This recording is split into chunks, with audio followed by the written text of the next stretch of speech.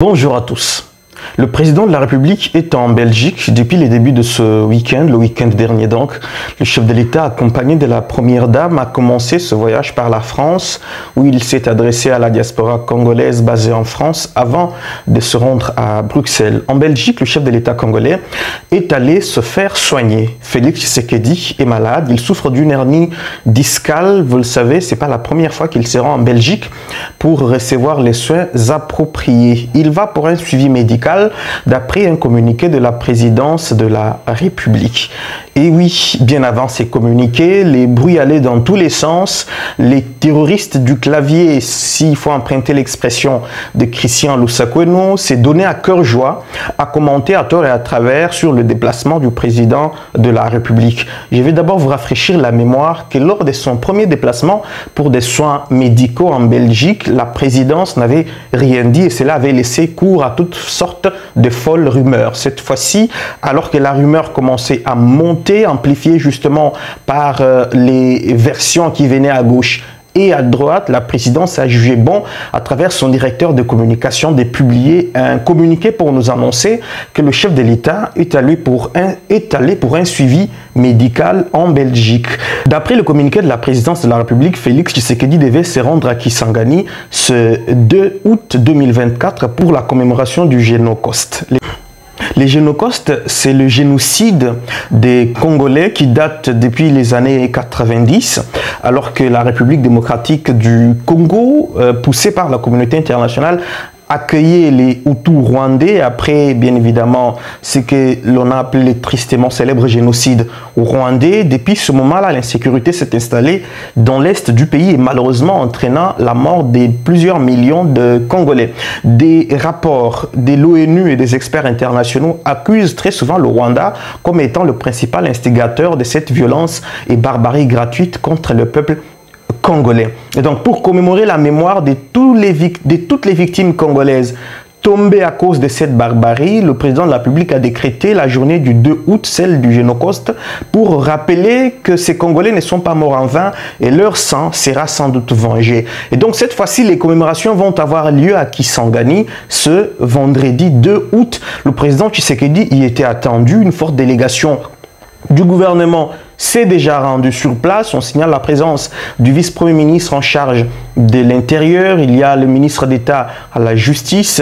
Une grande partie d'autorité va pouvoir se déplacer vers Kisangani. Tshisekedi devait y être lui également, mais malheureusement, à cause de ce problème de santé, il est obligé de ne pas être sur place. Le communiqué de la présidence l'indique clairement en soulignant que le chef de l'État séjourne actuellement en Belgique pour un suivi médical préalablement programmé pour soigner une hernie discale qui était jusqu'à son déplacement prise en charge par ses équipes médicales à l'hôpital militaire du camp Tchachi. La date du 2 août constitue un moment de communion pour toute la nation congolaise, non seulement pour rendre hommage aux morts et aux survivants du génocide congolais, dénoncer le pillage systématique de nos ressources, mais aussi et surtout pour raviver la flamme patriotique en ce moment où notre pays continue de subir une agression injuste. Nous allons revenir sur les génocostes demain, vendredi 2 août, parce que c'est le jour J de la commémoration. Mais revenons à la maladie du président Félix Antoine Tshisekedi Chilombo.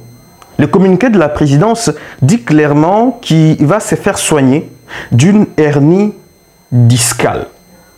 La première question que l'on doit se poser, c'est quoi une hernie discale? Avant justement de parler de la communication de la présidence autour de cette maladie du président de la République. Une hernie discale est une saillie ou petite bosse au niveau de la portion d'un disque intervertébral comprimant une racine nerveuse ou la moelle épinière. Cette compression est la cause de la douleur. En effet, le disque intervertébral est composé d'une structure solide et fibreuse avec un noyau gélatineux aussi appelé nucleus pulposus. Le rôle du disque est d'apporter de la souplesse au niveau de la colonne vertébrale et d'amortir les chocs liés au mauvais mouvement. En cas de hernie discale, ce disque peut alors se déchirer ou être rompu.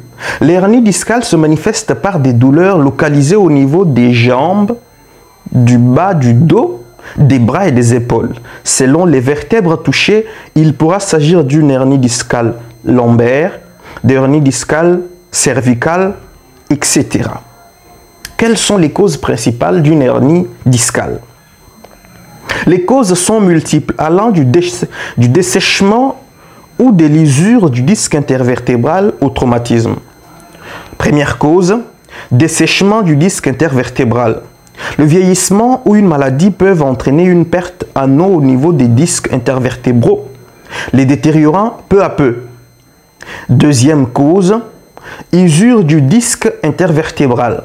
Dans certains cas, la hauteur du disque peut être réduite par cause naturelle, occasionnant une perte de souplesse. C'est la dégénérescence discale.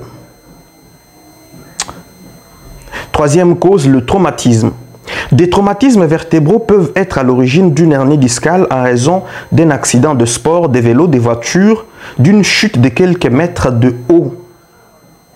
Quatrième cause, les surpoids. Les personnes souffrant des surpoids et même certaines femmes enceintes peuvent ressentir des douleurs lombaires. Les disques intervertébraux étant davantage sollicités, la pression à ces niveaux est très forte et peut entraîner la fragilisation du disque. Et puis enfin, l'hérédité. L'hérédité peut être source de hernie discale. Certains membres d'une même famille peuvent souffrir de cette maladie.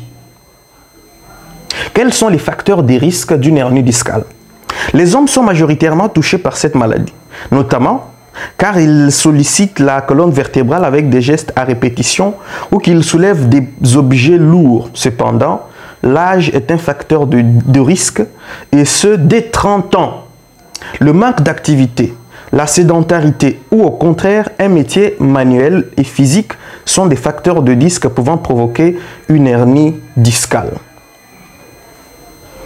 Les symptômes d'une hernie discale, j'en parlais déjà tout à l'heure. La douleur qui peut être légère, voire invalidante, est les symptômes principaux d'une hernie discale. Elle peut se situer à plusieurs endroits, le cou, le bras, le bas du dos, la jambe. Une hernie discale peut toucher n'importe quelle région de la colonne vertébrale. Elle peut attaquer les vertèbres lombaires ou toute la région du dos. Si cette hernie comprime l'une des racines des nerfs sciatiques, cela peut entraîner une douleur le long d'une jambe ou une paralysie du membre. Notez bien, une hernie discale peut passer inaperçue en l'absence des compressions des racines nerveuses. Pour diagnostiquer une hernie discale, il faut un examen clinique, il faut des examens d'imagerie, il faut aussi l'électromyogramme. Alors comment ça se soigne? Parce que le président dit est en Belgique pour se faire soigner. La hernie discale peut disparaître soit naturellement, soit après une opération chirurgicale. En général, le patient ne ressent plus de douleurs passées en délai de 6 semaines. Le traitement consiste alors à soulager la douleur en attendant que le disque reprenne sa position naturelle. Pour cela, on peut prescrire en première intention des médicaments antalgiques ou une infiltration. Des séances de, kinésithérapie peuvent également être prescrites. Elles sont destinées à éviter que les muscles qui entourent le disque abîmé ne restent contractés en permanence sous l'effet de la douleur, ce qui accroît la pression sur le disque et contribue aux symptômes douloureux.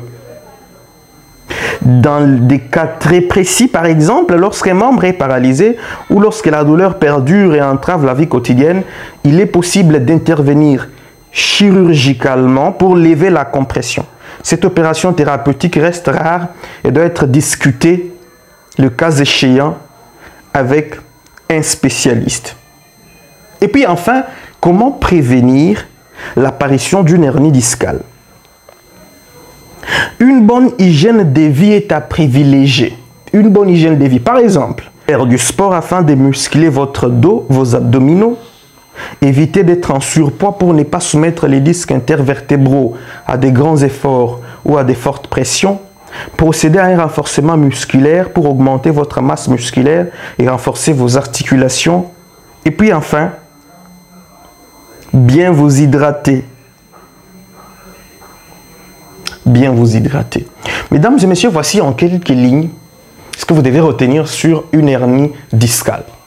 Et donc, en bref, notre président de la République ressent des douleurs euh, euh, qui peuvent être localisées au niveau du, bas du dos ou au niveau du cou.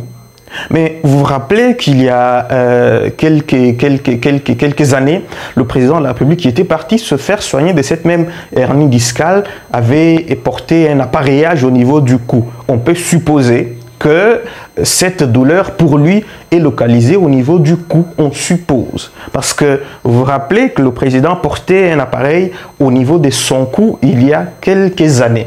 Et donc, le président de la République marche, se déplace, mais ressent une douleur qui peut être localisée au niveau du cou ou au niveau du dos. Et donc, pas besoin de s'alarmer ou de s'inquiéter bien plus que ça. Mesdames et messieurs, ça c'était juste la partie médicale de cette information. Nous n'en sommes pas spécialistes, mais nous vous avons donné des exemples et des informations sommaires autour de ce que l'on appelle hernie discale. Mais revenons à ce communiqué de la présidence de la République je, disais tout à l'heure que lorsque le président s'est déplacé pour la première fois afin de recevoir les soins en Belgique, la présidence n'avait rien dit. Vous vous rappelez qu'il y a eu beaucoup de rumeurs autour. Et la deuxième fois, récemment, quand il s'est déplacé encore, on a même spéculé, le président serait perdu ou serait notre président de la République parce qu'il y avait comme un silence de cathédrale. Mais cette fois-ci, parce que certaines informations ont fuité, notamment dans la presse, que le président de la République est en Europe pour des soins, la présidence a anticipé sur la prolifération dangereuse de la rumeur autour de la santé du président de la République en publiant ce communiqué. Maintenant, j'ai vu des critiques qui viennent un peu de partout. Pourquoi Eric Nindou directeur de la communication de la présidence, a publié ce communiqué. Pourquoi a-t-il communiqué sur la santé du président? Il risque d'inquiéter, outre mesure, les Congolais on est des Bantous, on est des Africains, même dans le cadre familial, lorsque papa est malade, parfois, les enfants ne sont pas au courant. Seulement lorsque la situation devient euh, euh, dangereuse et pouvant entamer euh, sa vie, que l'on informe la famille. Quand papa a une petite fièvre, quand il a des maux de tête, quand il a des maux des jambes, maux des dos, maux des ventres, on ne dit pas forcément aux enfants pour garder le moral, parce que vous savez, la présence parentale ou le visage parental est avant tout protecteur et rassurant pour les enfants. Donc, certaines personnes estiment que l'on aurait dû garder et gérer cette information ou trouver n'importe quelle information à balancer au visage des Congolais. Et ne pas dire que le président est malade surtout dans le contexte de guerre où nous sommes, dans le contexte de, crise économique multiforme, dans le contexte où des revendications sont un peu partout dans les secteurs professionnels, dans le contexte où le deuxième mandat ne fait que commencer des défis majeurs attendent le président. Les Congolais ont besoin d'avoir leur président en forme et capable de relever ces défis. Leur dire que le président est souffrant et va se faire soigner peut entamer leur sérénité. Ça, c'est une opinion.